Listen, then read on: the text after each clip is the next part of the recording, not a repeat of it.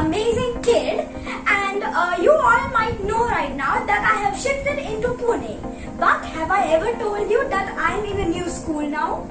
It is Arise International School and I am in 4A in that school. So um, today we are going to do a project that my school asked and uh, I thought why not to make a video of it.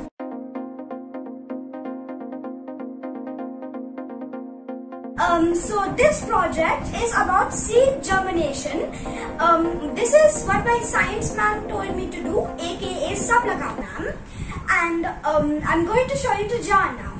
Now, um, may the project begin. And um, day one, which is today, this is my seed jar. I put some moong dal seeds in the bottom of this and submerged it completely with water. And ma'am said that there should be no soil in this process and um, I see I think there is no change to this except uh, it has puffed up a bit.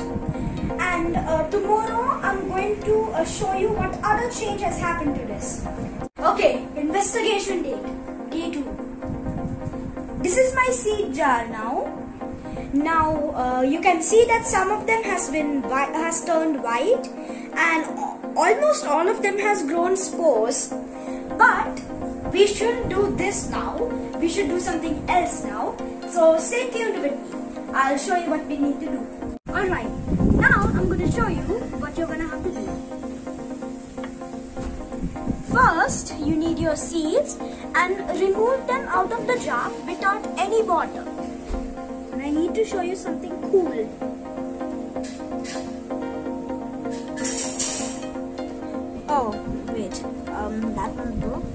Just wait for a second. There.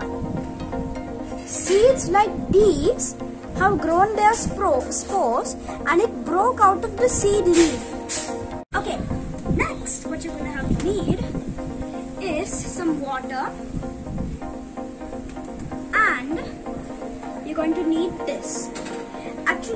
Uh, I didn't find a jar in the house, another jar to keep these. So, um, I just found this and um, I like it because it um, you can see it more clearly in this. Okay, I'm done with my sprinkling work and it should be moist enough that the tissue paper won't fall off. But please be warned, do not put too much water, otherwise it'll tear off. So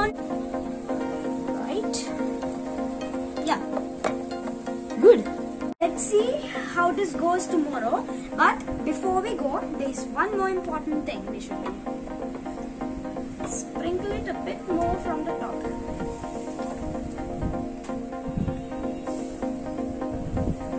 Okay, and now we should cover it a bit. Like that. So that uh, whenever this dries off, the water falls into the seeds. Yeah, we're good to go. This is day 3 of the germination process. I'm out in the terrace and I finished giving my plants some sunlight. And it has grown a lot.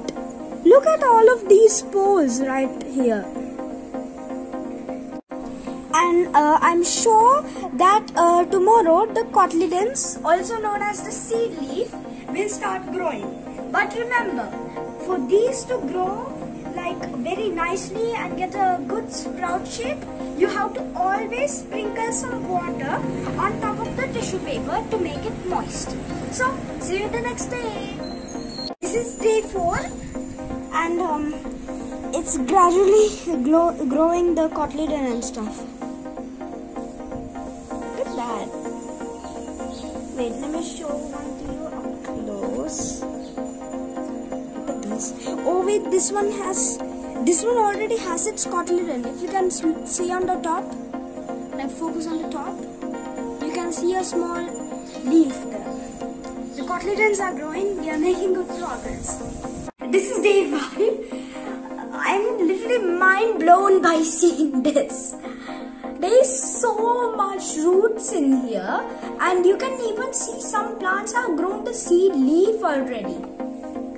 Now, I brought some out. Let's observe it. Now do you see uh, this seed right over here? The root, which is also known as the radicle, it's almost fully grown and this is the seed leaf. The seed leaf has something called the cotyledon which is also known as the seed coat. This right over here, the black part is the cotyledon and this is the seed leaf. You see the top part? That's the embryo's leaves. Now, uh, some of my seeds have already uh, have almost became uh, fully developed. This thing has an extremely long radicle. The embryo seeds, uh, no, I mean the embryo's leaves are very obvious, and uh, I don't know what happened to the seed. I guess the minerals got finished in this. so, see you in the next day. Day 6 so this is a seed from the uh, third day as you can see here and this is what happened at the sixth day. Now it is a fully fledged sprout. Alright guys, day 7. Now our plants have grown into a sprout literally right now. And um, I'll show you a good one. Look at this. Now let's observe you see these, you see these parts, never mind the tissue, you see these, right? These are actually used for collecting nutrients.